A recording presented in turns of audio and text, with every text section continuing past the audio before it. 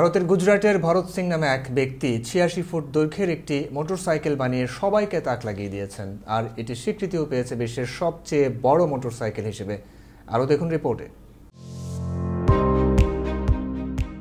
একশো পঁচিশ CC Bajaj discover সাধারণ বাইককে বিশেষ পদ্ধতিতে ছিয়াশি ফুট দৈর্ঘ্যে রূপ দিয়েছেন ভারতের গুজরাটের ভরত সিং। তার এই মোটরসাইকেল গিনেস বুকে স্থান করে নিয়েছে। দু চাকার মোটরসাইকেলটির দৈর্ঘ্য ছাব্বিশ দশমিক উনত্রিশ মিটার বা ছিয়াশি ফুট। মূলত একশো পঁচিশ সিসি বাজাজ ডিসকভারের সাধারণ বাইকটিকে চেন ড্রাইভ মেকানিজম পদ্ধতির মাধ্যমে ভরত সিং ছিয়াশি ফুট লম্বা করেন। যদিও ভরত সিং ঘোষণা দিয়েছেন, এই বাইকটিকে দৈর্ঘ্যে আরও চোদ্দ ফুট বাড়িয়ে একশো ফুট লম্বা বাইক বানাতে চান তিনি। তবে বিশ্বের এই সবচেয়ে দীর্ঘ মোটরসাইকেলটি রাস্তায় চালানো সম্ভব হবে কিনা তা বলা মুশকিল। Mehrun Binte Ferdous Bangla channel news desk.